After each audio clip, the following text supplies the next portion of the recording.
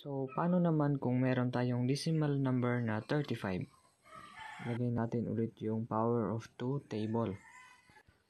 2 to the 0th power, 2 to the first power, 2 to the second power, 2 to the third power, 2 to the fourth power, 2 to the and 2 to the fifth power.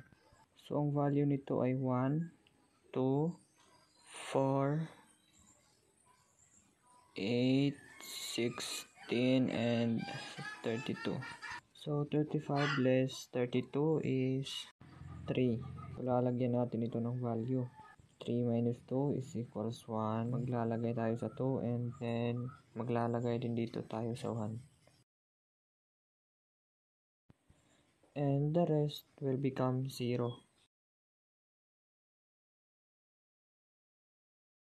So, 35 na decimal number pag kinonvert into binary will become 10011.